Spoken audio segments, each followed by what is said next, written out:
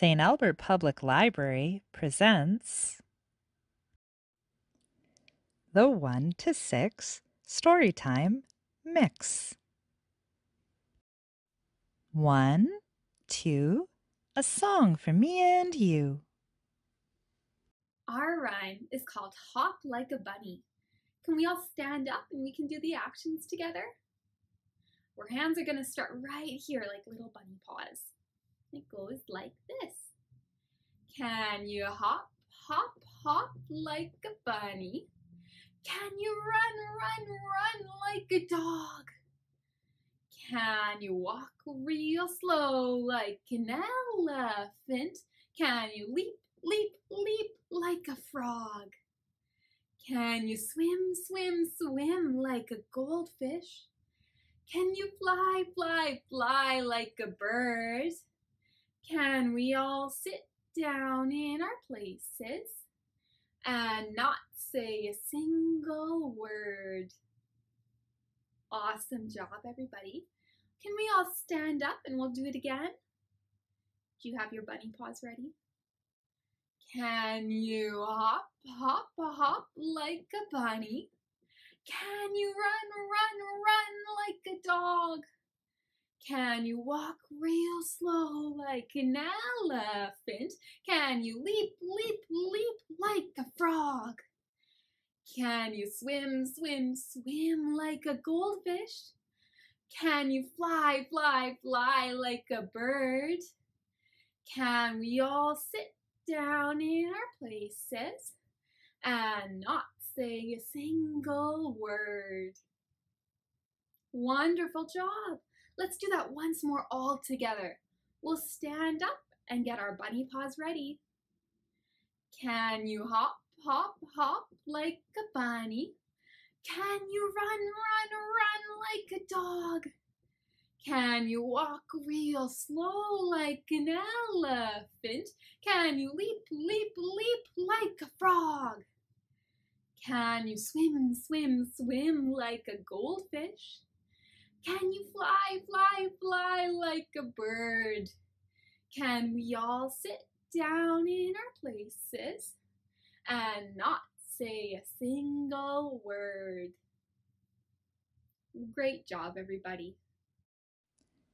Three, four, a story to explore.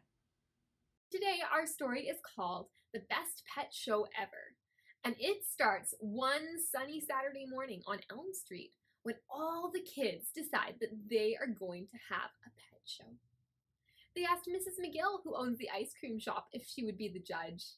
And Mrs. McGill said that this sounds like a great idea and she'd love to be the judge. And she even said that whoever the winner is could have one of her famous ice cream sundaes.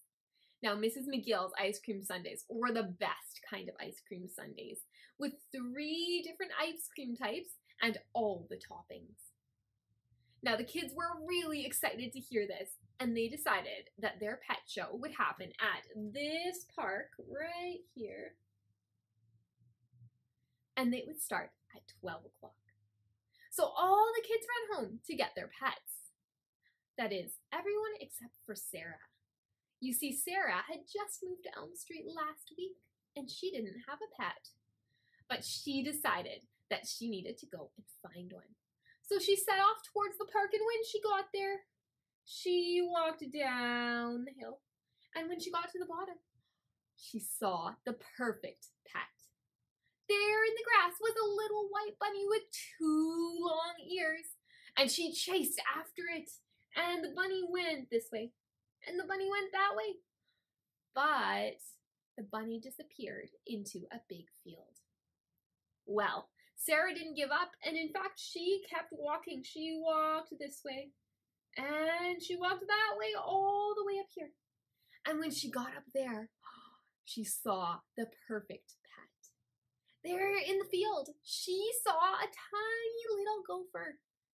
And so she chased that gopher, she chased it this way, all the way to its little hole where it snuck inside.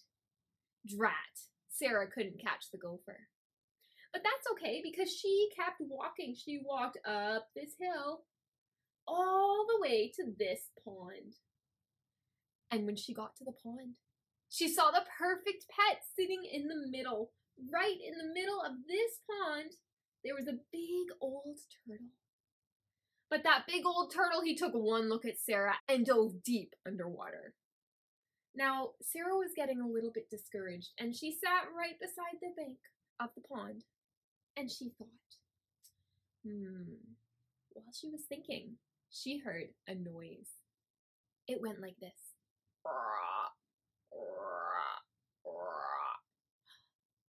She looked around, and there on the other side of the pond, she saw the perfect pet. So Sarah got up, but this time she didn't run.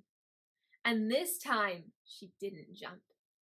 This time she walked slowly and quietly around the pond. And when she got to the other side, gotcha! She found the perfect pet. So while Sarah was catching her pet, there was lots of cats and dogs who were arriving at the park. Right over here, we have Tilly, the sheepdog, who's so big, he's twice as big as his owner. And over here, we have a golden retriever named Daisy, who loves to play fetch. And beside Daisy, we have a poodle named Jazzy, who makes a whole lot of noise. And beside Jazzy, we have our last puppy. Her name is Spot. Now, as you can see, we have lots of dogs here, but there's lots of cats too. Over here, we have Shadow, and Shadow is a big black cat. And beside Shadow is a pretty Persian kitten named Princess. And Princess has a brand new bow in her hair. And beside Princess is our last kitty, and her name is Calico. All right, well, it looks like all the cats and dogs are here, so Mrs. McGill asks everyone to line up right here in the middle of the park. And she's just about to start the pet contest when they hear a voice. Wait for me! called Sarah as she ran down the hill all the way to the park. Phew! She got there, but as she skidded to a stop, she fell and she fell right in front of Mrs. McGill, and her new pet went flying right in the middle of all the other pets. Well, all those pets and all those kids scattered. They ran this way, and they ran this way, and they ran that way. Until the only people left were Sarah, Mrs. McGill, and Sarah's new pet. Do you know what Sarah's pet was? You're right, it was a bullfrog. And this wasn't just any bullfrog, this was the biggest, best bullfrog in the entire world. But Sarah's bullfrog, well, it didn't stay at the park. Instead, it hopped all the way up the hill and landed back in its pond where it belongs. Now, Mrs. McGill was a little bit relieved that she didn't have to pick between all these beautiful animals. And instead, she told all the kids that they could come to her ice cream shop for a free ice cream cone that afternoon. Well, that afternoon, when all the kids were at the ice cream shop eating their ice cream cones, they talked about how great the day was. But no one was happier than Sarah because she had finally made some new friends five, six. That's the end of our mix. See you next time.